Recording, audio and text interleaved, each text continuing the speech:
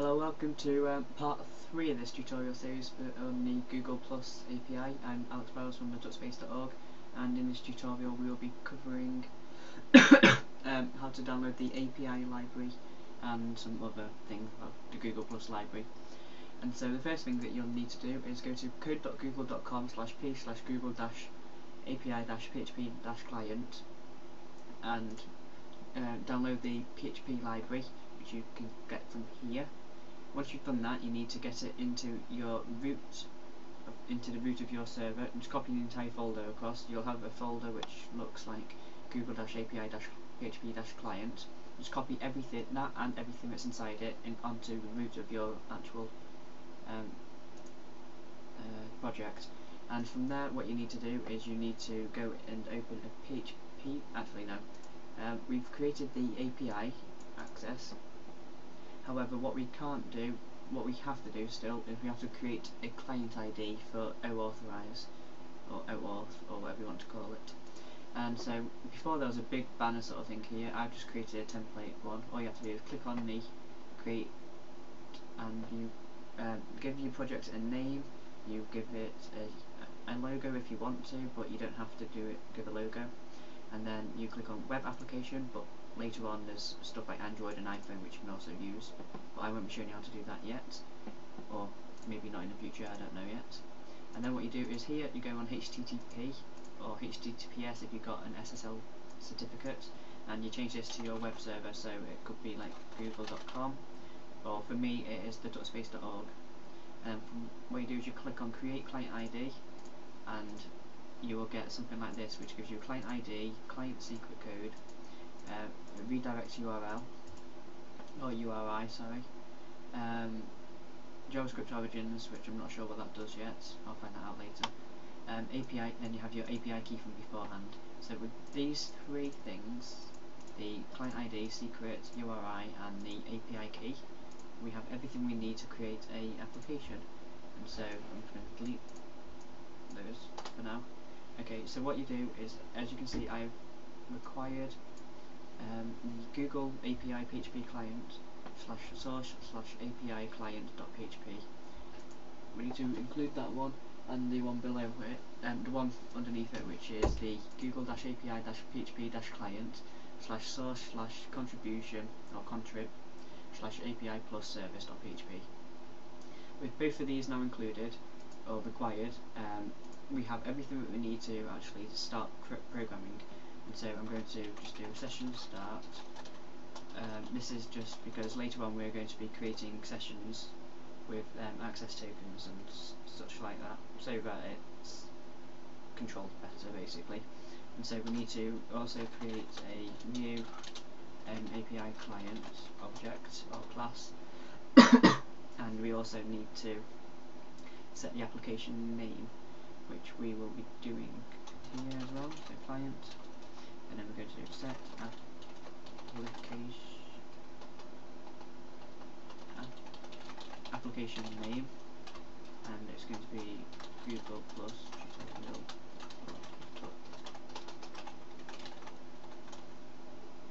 Okay, from there what we do now is, because we've generated our client ID, we are going to uh, insert that one. So we're going to do client set client ID and here I'm going to copy across this. And then we've got client and we've got set client secrets. And this one is going to be copied across also. If you want to find out what other functions there are you have, will have to simply go into the um, actual PHP files and you can read it. It's all open source it is quite blocky and quite oh it's a great file. Okay um, it is quite blocky and it's quite I'll open up here. It's quite blocky and quite um, a, a lot of information basically is inside it but it is it does give you a full list of everything that you can do with it. So um, here, this is the one which we're going to be using first, which is the people service resources, and this is going to be getting um, information or a profile about a certain person, which based on the ID. Um, it's quite it's quite good um, for a start of what you can do with Google um, Plus API, but we will be obviously once they release more, we I will be teaching you other things which you can do. Um, right, okay, sorry, I've got slightly sidetracked. So clients, I'm going to set. This one is redirect. URI, lowercase r and the i, by the way. And this one is going to be set to this page. Um, we'll have to create that folder by the way, um, but we'll do that in a bit. Client, and then we're going to set. This is the developer key. this is set to what your API key is. So from there, we now have everything set up, and what we need to do is I'm going to do client, one last thing, set scope, and I'm going to create an array we don't really need to create an array for this but um, if I wanted to authorize more people than just me um, it would be quite useful and to have an array set up so I've got that done for now.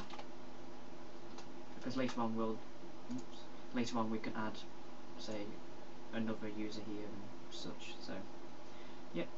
And now what we need to do is we need to actually create a new object, a new class which is the API plus service. And then that's going to have client in it. Okay and now what we're going to be doing is I'm going to um,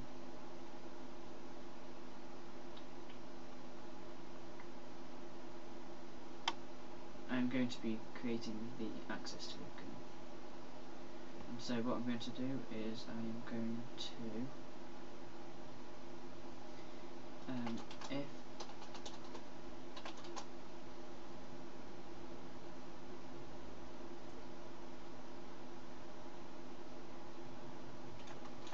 okay if it's set and get code. Um, you'll understand why we do this in a bit don't worry because we haven't actually created this bit yet. I'm going to do client authenticate and then we're going to create a session which is the access token equal to client kept actually no we don't need to do that but yet. We can that's something that we'll be doing later on. Um, if client get access token me equals yeah I'm going to call it me actually me and that's going to be plus and then people get me. This will fetch information about me. Um, and then opt runs and we're going to create the max results. I'm going to set that to 10 and then activities Actually no, leave the activities for now, we're just going to keep it at people. Um, so what I'm going to do now is I'm going to create a var dump for now and have that just dump the what me is. And save this. Um, I'm going to save it to where the Dropbox is. So um,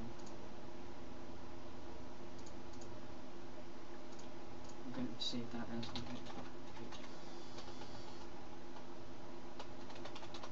plus.php. If you wouldn't, if you heard that vibrate, that's just my phone. Just ignore that. Nothing bad going on. Um, okay, so we've got plus.php, which I is now in the Dropbox. Now, as I probably, I think I mentioned in a previous video, I've got a Dropbox because I don't actually have access to a server on, well, I don't have access the password to the server on my actual normal computer, which is a bit annoying, but it doesn't really matter too much. Let's just check. Is that still for video? Right, I don't have access to that, to that part of the server for some reason, so we will listen to the root. And I'll open up my Dropbox and with all of this done sorry um, two computers at the same time is really really confusing. Um,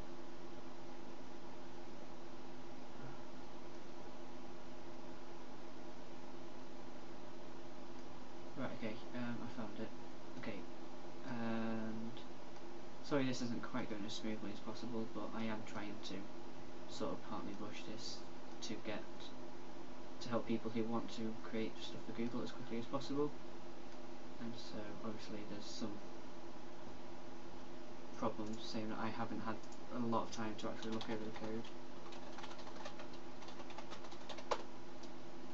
And this should hopefully work. Warning.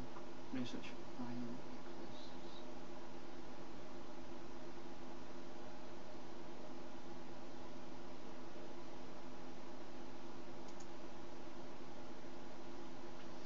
uh, let's have a look Google dash API dash PHP. This one? Line 3. Okay, so that's that one. There's apparently a problem with this.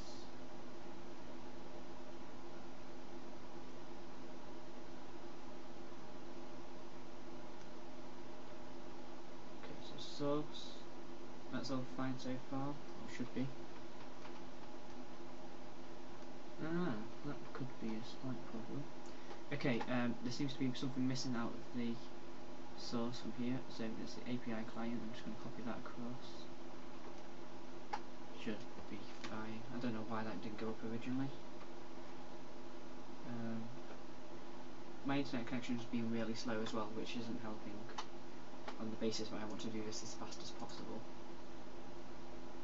Okay, um, that's now uploaded. Refresh this page. Um,